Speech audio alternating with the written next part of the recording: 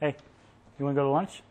Sure. Where do you want to go? Let's go to Club Trilogy. They've got new restaurants and it's awesome. One side is the Skyriders Cafe, where you can get fresh coffee, pastries, and hot, delicious paninis and sandwiches in a relaxing atmosphere. And the other side has the Bombers Fresh Mex Taco Bar. Super fresh ingredients go into each dish, whether it's a burrito, salad, or taco, and the tortillas are amazing.